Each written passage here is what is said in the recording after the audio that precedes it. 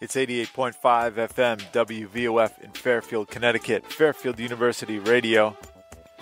That is a great track coming from an outstanding record. That's the way I grew up on music.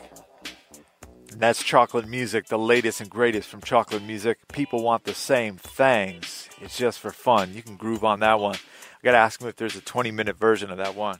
Stevie Martin is the leader of the band Chocolate Music, and he is kind enough to join us once again from Los Angeles, California, I believe. How you doing, Yes, Stevie? sir. I'm doing beautifully, sir. How you doing, Joe? Thanks for having me, sir. Yeah, always creating great music, and uh, man, you, you're playing everything just about on this record yourself, and with a few friends. Yeah, you know, you know what they say, necessity is a mother, and uh, Right. and uh, got to do what you got to do. I can't afford everybody I want, hmm So, but it's so all good, man. It's all good. now, now, now, since you're a multi instrumentalist, producer, and and vocalist, what wa- what was the first instrument you ever uh, tried to have a go at when you were a kid? Um, actually, the uh, the very first thing uh, that I played was uh, was uh, guitar. Uh huh. Yeah, that was. excuse me. That's all right. Sorry about that. No problem. I was having a human moment. Hey, this is real radio. We've had a lot of them on this show. Well, dig it. Never do, never do a live radio interview and eat trail mix simultaneously, my people. Right. But the first, the first uh, instrument I was, I actually played was uh, a guitar that uh, my older brother gave me. He bought it um, for me from a pawn shop in Norwalk, California. Oh, okay. No, no. Where's Norwalk? Because we have one in Norwalk about ten minutes from here. But I'm in California? Right. Where is that? Well, Norwalk, California is a suburb. It's probably about uh, about uh, 20 minutes east of L.A. Okay. Yeah, so that's the first thing uh, that uh, I picked up, and uh, my my good buddy Warren Hibbert, who Uh-huh. was uh, he was a friend of mine in the seventh grade. Uh, he actually uh, was really into the Beatles at the time, and uh, and uh, you know I um, actually learned by just hanging out with my my buddy Warren, who uh, I haven't seen forever. So Warren, uh, if you're out there, hey, hi and thanks, man. Yeah. From from the Beatles to the chocolate music and everything in between, is it's been a really cool journey for you. Oh yes, sir.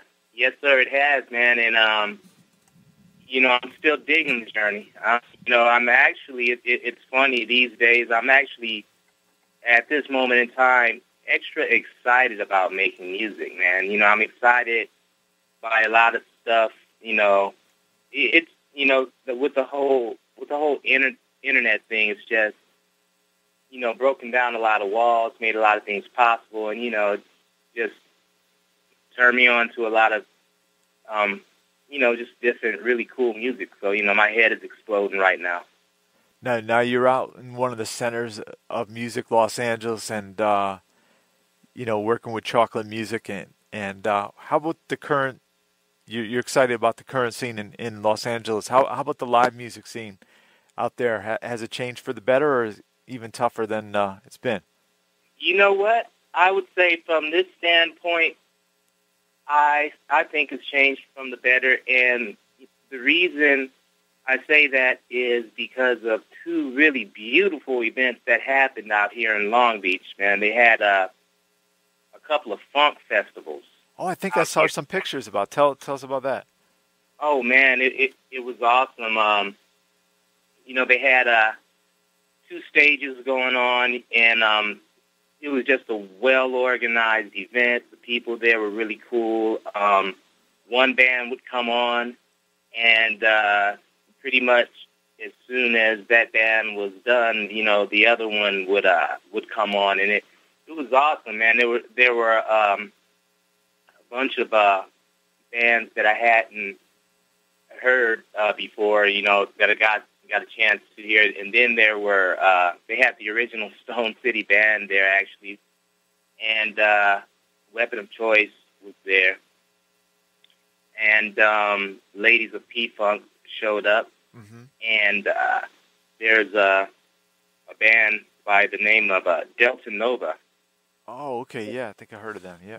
Yeah, and um, actually, I believe the the leader of that band was the organizer of the event, and you know it was, you know, it, it was basically, as far as I know, promoted primarily internet and word of mouth, man, and for such the turnout. I mean, Long Beach is is kind of a it's an artist friendly city anyway, but it, it man, it was just such a a beautiful vibe, Joe, man. it, you know, and uh, that really inspired me. You know, um, I wish that uh, you know that I played that one. You know that you know, but it was really cool. So that's that's the thing that I'm most excited about um, about the LA scene. Um, being able to uh, see a lot of the artists, and you know, last year uh, they didn't play, but uh, Baby Stone. Mm-hmm. Um, uh, they didn't play this year, but it's a band that's fronted by uh, Sly's daughter, and um, you know they're really cool too. They got a really really cool vibe to them. So yeah, So, so things are looking up and positive. So, sounds like a modern day Budweiser Superfest. yeah, yeah, Yeah. yeah, yeah. As a matter of fact, yes, it's it's kind of like that, you know. Right. And uh, and my whole, you know, my whole intro really to the live uh, music thing and what really pulled me in to wanting to be an artist was my older brother and uh, my now sister-in-law taking me to a funk festival Uh huh. and you know, you know, so you know, it was kind of like a throwback to those days, you know, because the one I went to, you know, you know, P Funk was there, Bootsy, yeah, the Bar-Kays were there, um, Rick James was there, Con Funk Shun was there, you know, and uh, man, you know, after that, you know, it was over for me, you know. Yeah. It's like, yeah, I know what I want to do, ma. Right. Right. no one's stopping me. Yeah, yeah, Yeah. exactly, exactly, man. I've been, I've been jacked up ever since. Uh, Stevie Martin from Chocolate Music out of Los Angeles is our special guest, and always nice to have Stevie on. Um, we're gonna play something. We got a lot of music off the record to play. Um, we're gonna get into "Sexy Lady" right now from from the album. People want the same things, and people can uh, go to cdbaby.com. Just type in "Chocolate Music" and bring you right to the CD. It, the CD is also available from iTunes and Rhapsody, and the official Chocolate Music website, chocolatemusicla.com. Um, any any other sites you want me to or you, you want to mention? Yeah, you can also check out uh, www.doingthedo.com. Okay. Stay, stay tuned uh, for that one. Um, you know that that one's in perpetual development. You know it's uh, you know it's going to be about uh, a lot of other things production wise I'm into. So hopefully you know you guys will hear something you dig on there. I dig it. That's right. So uh, we'll get into this right now. Come back and speak once again with Stevie Martin. Another great one from Chocolate Music. People want the same thing. Stevie Martin is with us, and uh, yeah, you bringing the real funk. No faking it right there. No, no, I want to want to keep the size of my nose uh, within a, a decent smelling range. if, you get, if you get too far outside of the smelling range, then uh, you might not get the, the funk you want to smell. That's that's right. Um, you know, you know, from the uh, the artwork on the record, uh, dripping on the wax, and uh, you know, you got that that 45, the little plastic thing holding the 45 records together. When I got into radio, you know, that that's cool to see stuff like that. I mean, how, how about uh, your first concert, seeing live music? I mean, you mentioned the big festival. Was that the first concert you went to? Um, was that the first concert I went to? That was actually, wow, I believe the second concert. You know, and in the first one that I went to is like a really, really vague memory. I remember being like small, man, Uh-huh. and and uh, seeing the Temptations at the Forum, and you know, it's one of those things where, you know, I, I have to ask my older sister, like, yo, was that really real, or Uh huh. or, or do did I dream that? You know, but so I but I think that the uh, that the funk festival, yeah, that was uh, pretty much um, my baptismal to uh, you know funk live in person at you know Well, at you such a level. Yeah, well you yeah. you saw the Temptations. That that that that's a great group in itself. Oh yeah, Yeah. You know, you know, I think I was probably too young to to really truly appreciate it, but you know, I think I'm sure that it touched me somewhere in the subconsciousness. You know, Right. I, I think I was the same way with when I was working in, in radio in Bridgeport here at WNEB. I I went to uh, see James Brown and Wilson Pickett and met both of them backstage in between the shows. And back then, I didn't realize like, wow, you know how powerful and the legacy until I, I got older and I you know loved the music. Same same probably the same feeling. oh yeah, wow. You know, James Brown and Wick, Wick and uh, the Wicked One. Yeah, that's that's right. James Brown had his hair up in curlers and said to me, uh, "God bless you, son." oh wow, Yeah, I, re- I remember that. Yeah, that's a memory. yeah. Hey, hey, tell me about. I mean, a lady who just recently passed away. Obviously, uh, dear to you, Mallia Franklin. Um, Oh. What what did she mean to you? And uh, tell us about you know influence in your music and and your life. Wow, that one um for me that one was uh, a uh, a really deep one. Mallia and I, you know, she was um she, she and I were really connected like on a spiritual level, man. You know, it's just one of those things you know, you know, I guess it's just certain people that you meet with, and there's just this instant connection. And uh, Mal used to have this thing where we would just have these, I don't know, these crazy synchronicities, and she would just start doing the Twilight Zone thing, you know. So, you know, we were really connected, you know, on, on a spiritual level, man. And you know, I, I miss her dearly and think about her every day. And um, but she left me with a whole lot of positives, mm-hmm.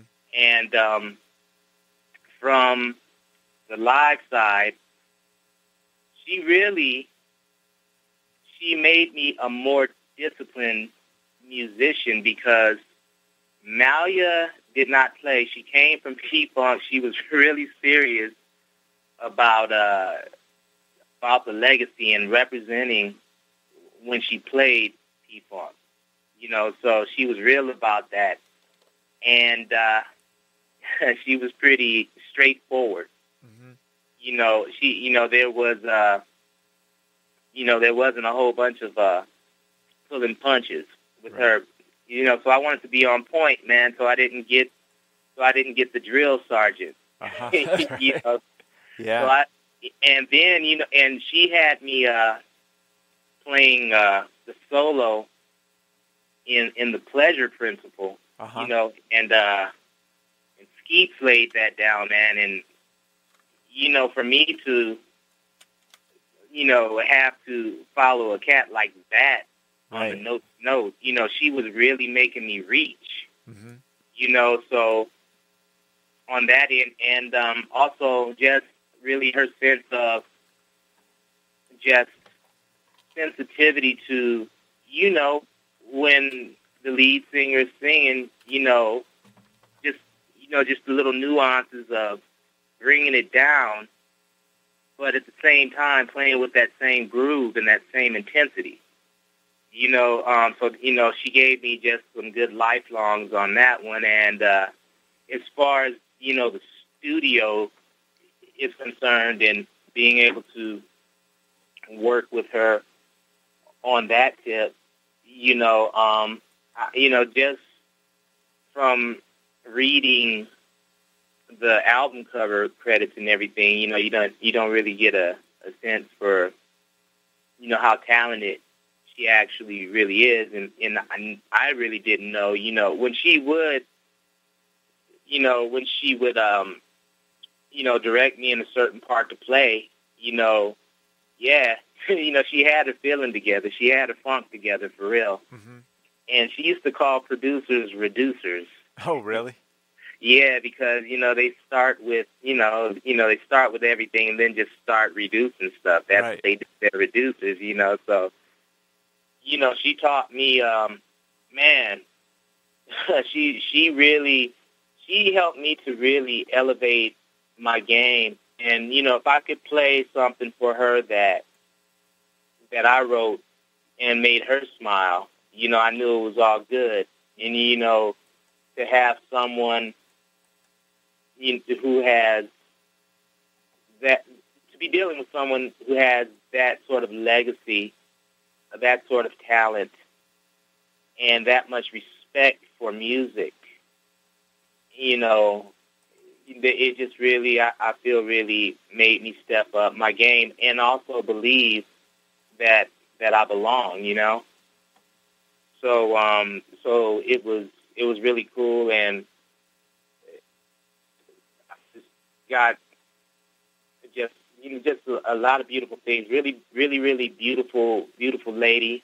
hmm You know, um, she it, she drove me crazy, and I love her.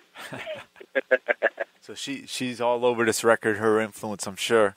And uh, we're gonna play another song right now from People Want the Same Things. And um, I'm being a little selfish because I'm playing my favorite tracks right now. But uh, but I love this one because it's a nice slow jam, and uh, just right right in the middle of the record, and and it's called Angel. And, and talk a little bit about recording this one, and and uh, how did you put it together? Well, that one, um, I put that one together, man. I was really influenced by, um, you know, there uh, by funk bands that slow jams that I dig, like the Ohio Players hmm and uh, Cameo, the Bar-Kays, and I think, you know, on that one, I wore my influences on my sleeve. You know, um, and uh, you know, I just put it down. You know, it, it was really about a vibe, man. You know, um, I like to I like to find a lady that could make me feel that way in real time. Right, right. So so Stevie Martin's our special guest, and uh, we'll be re-airing this at Upper Room with UpperRoomWithJoeKelley.com in a couple weeks. Sign up for the mailing list, and we'll let you know exactly when. And uh, this is called Angel from People Want the Same Things. DoingTheDo.com, and Steve will come back and talk once again. You got time, right? yes, sir. There, put that focus on there. Great, great song from Chocolate Music Angel from the CD People Want the Same Things. And uh, Stevie Martin's with us, doing the do.com, and uh, you're doing the thing with Chocolate Music.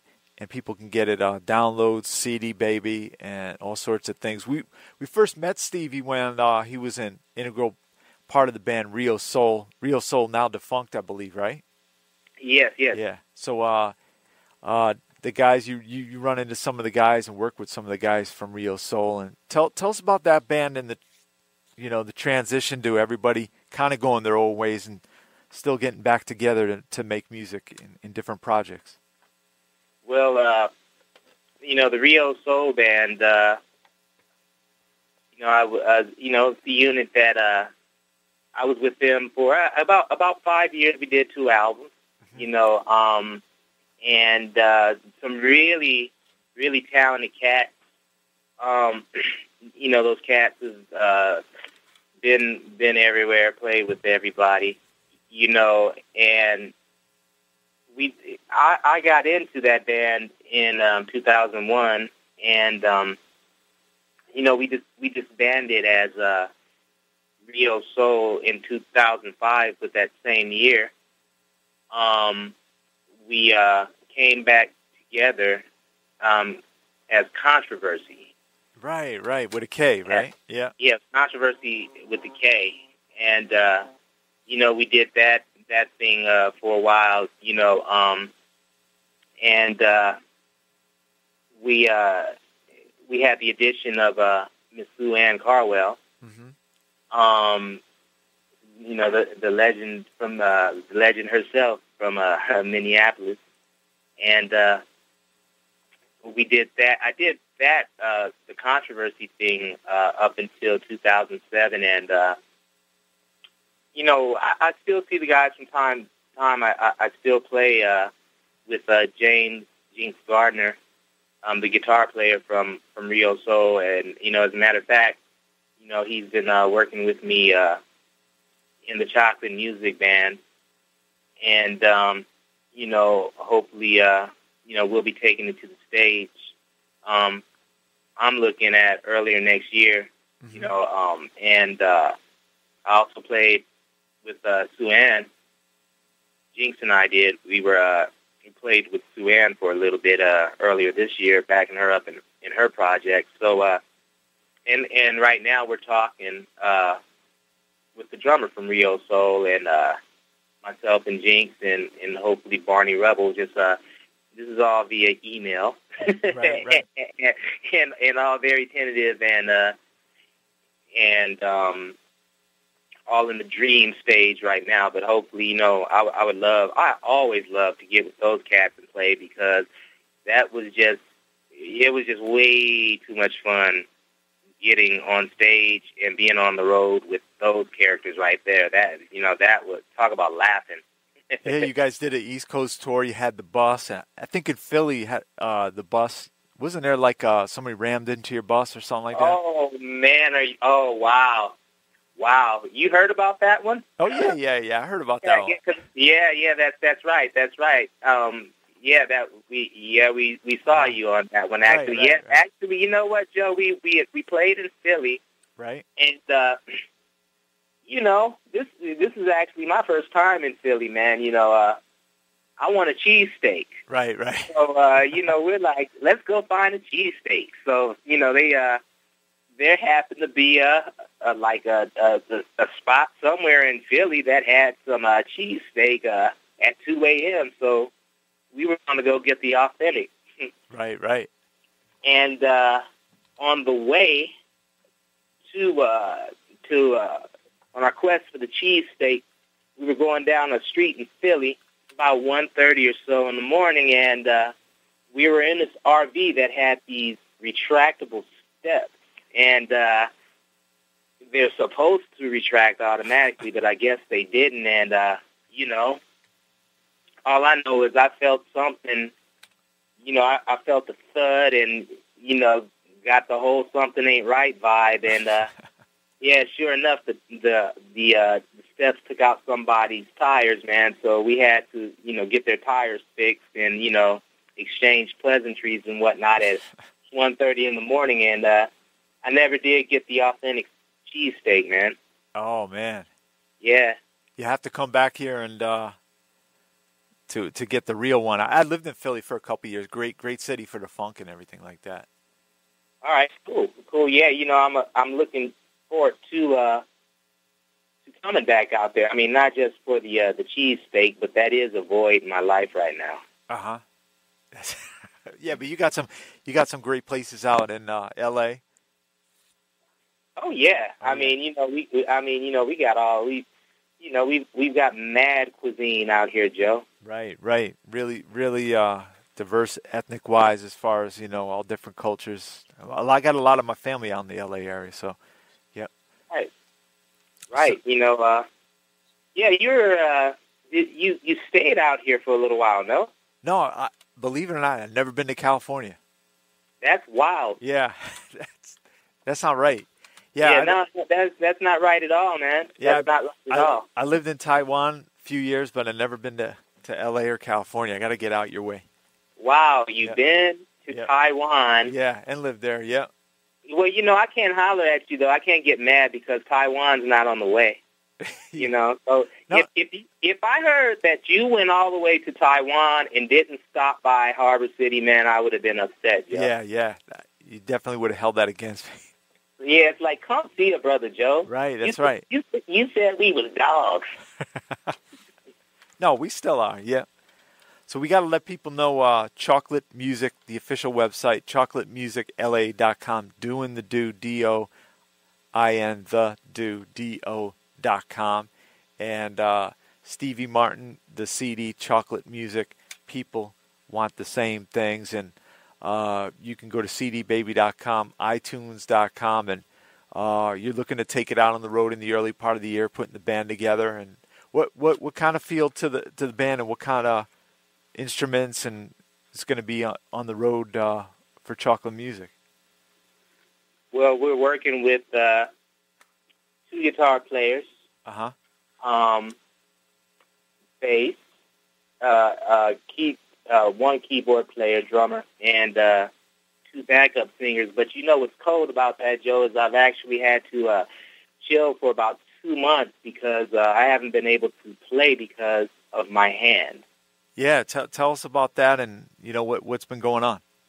Well, you know, Joe, I you know I was actually trying to uh, change up my technique and uh, and do do some different things like on the bass, man. You know, and I guess you know just just bad habits, man. Just not just not practicing the right way, man. And my hand did not appreciate it and went on strike. You know, uh-huh. the the combination of uh, bad bass playing mechanics and NBA Live. Right. Uh, um, you know, in you know the video games, man. Right. You know, uh, you know it wasn't good. My hand went on strike, and uh, you know I, I'm feeling better though, man. I've I've uh, you know just recently, actually, this past weekend is the first time I actually picked up a bass in about two months. You know, um, but I, you know I'm not trying to get any uh, lifelong uh, tendon damage. So I'm just chilling, man, and just you know trying to approach it a little bit, uh, a little bit more uh, insightfully, if you will. Now, now, uh, let me ask you this: you, What's your go-to bass that you're always, uh, you know, if someone came and, and stole that, you'd be extremely mad or extremely hurt. What, what's your go-to bass? Uh, my my go-to bass is my Fender Jazz uh-huh. um, that I'm playing right now, man. You know that one, uh, that one right now. Me and that particular bass are real cool, man. You know, I'm I'm digging the range of sounds that I'm I'm getting out of this, and you know, and uh, you know, I, I, I like the way she looks and everything too. You know, so it's good. You know, that's uh, that's my number one girl right now, man. That's that's the go-to. I didn't have it when I was on the East Coast swing. Uh-huh. You know, um, and and actually, uh, I want to get one just like it with a longer neck. But uh, but yeah, that's my go-to right now. Now, now I take it you're a you're an NBA basketball fan. Yes, yes, sir. I am an NBA basketball okay. fan. Is your team the Lakers? I am a Laker fan. I'm I'm a lifelong. Okay, I'm a, I'm a Knick fan. So, uh, well, you guys obviously got a better team the last few years. Um, but what, what's LA? Uh, how do you how do you see the season for LA this year? I think um, I think you know in one way it, it I'm it's kind of like I want to let's just get the regular season over because I don't every all the talent it just seems like it just moved to every why did everybody go out east?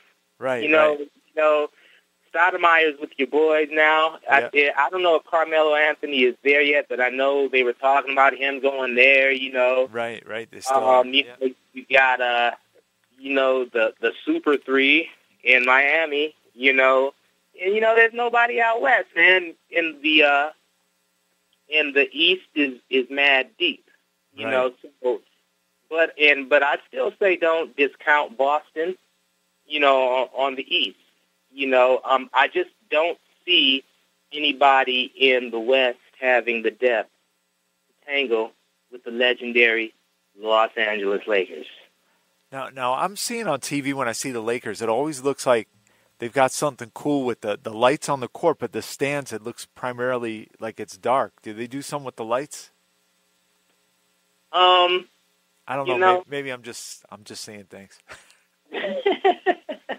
It looks different than like you know other other arenas. It's like you know the yeah, spotlights they, on the. Yeah, they probably have like some hypnotic effect going on. They probably got like you know some some subliminal type of light sequencing going on. You know. Right, right. so the season yeah, starts. I know tomorrow night. Uh, Boston against Miami. I got to root for for. I think it's Boston against Miami. Yeah. I got. Yeah, root. well, you, oh man, you know, I'm just a basketball fan, man. I can't bring myself to ever say that I'm going to root uh-huh. for Boston, but but you know, man, Paul Pierce is from Inglewood, you know, so uh-huh. I I got I have to, you know, I have to give him, you know, some love. Right. You know. Right. So, yeah. So, uh, go Inglewood. That's right. Represent for Inglewood, and uh, yeah, we, we want to thank Stevie Martin for coming by once again. Hopefully, we'll have him in the studio. It's been a while since you've been here on the East Coast, but uh, thanks for another great record, Chocolate Music's. People want the same things. Thank you, Joe, man, and thank you so much for all the love and support.